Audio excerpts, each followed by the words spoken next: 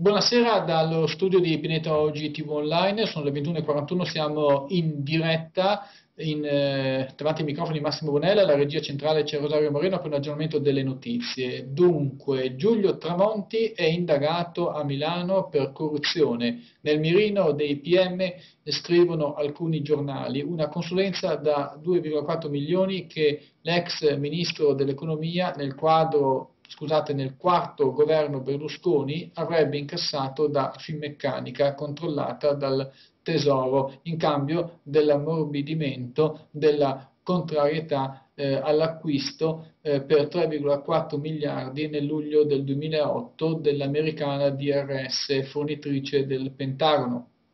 Una presunta tangente veicolata come parcella per una falsa consulenza dello studio del quale Tremonti è oggi nuovamente socio, indagati anche un altro socio, Enrico Vitali, l'ex presidente Finmeccanica eh, Guarguaglini e l'ex direttore finanziario Panza, perquisito anche lo studio.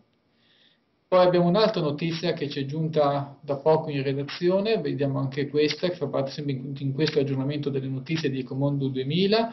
Dunque, i militari del nucleo speciale di polizia valutaria della Guardia di Finanza hanno arrestato stamattina Renzo Pini, 64 anni, direttore regionale dell'Agenzia del Demanio del Lazio. Pini è stato posto agli arresti domiciliari. Il provvedimento è stato assunto nell'ambito di un'inchiesta condotta dalla Procura di Roma sull'affidamento di un appalto. Al direttore viene contestato il reato di abuso d'ufficio.